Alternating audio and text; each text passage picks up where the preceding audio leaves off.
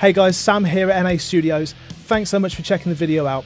Today I want to show you a little bit of Pro Tools style editing that we can do within Logic Pro.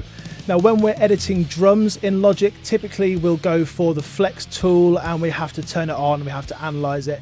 It can be a little bit hazardous, it can be a little bit time consuming. In Pro Tools, there's a really effective way of moving transients and audio around within a region, and I'm going to show you how you can do that right now. Let's check it out. So first of all, let's take a listen to this drum track and there's a couple of hits that are a little bit off.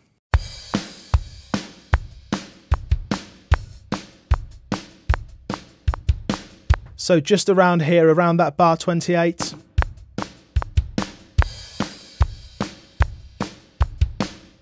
It just slips a little bit out of time.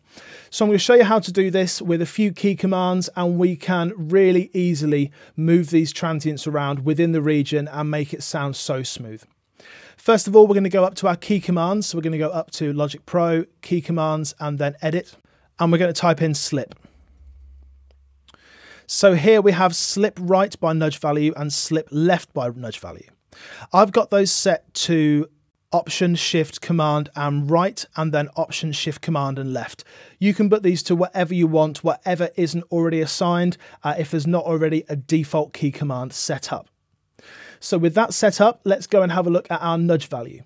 Let's go up to this button at the top left here, and this is the toolbar.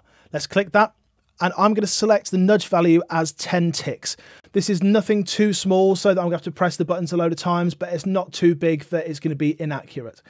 Let's jump to this section and just see exactly what needs moving. So I think if we actually grab this whole thing, then everything needs moving across because this one, this snare hit needs to be on that two beat there and it's kind of not too far off, but these ones need taken across. So let's try this. Let's just nudge this across until this first kick is where my playhead is.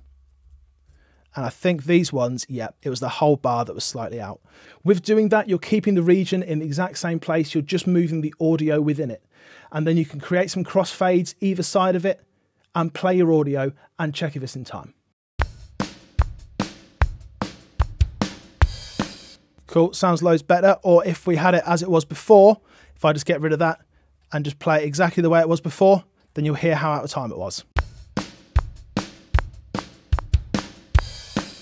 Yeah, really out of time. With Slip, we can be really effective really quickly. Just some short key commands that we can assign once and then they're there for good. Pro Tools style editing within Logic Pro. Yes, it's possible.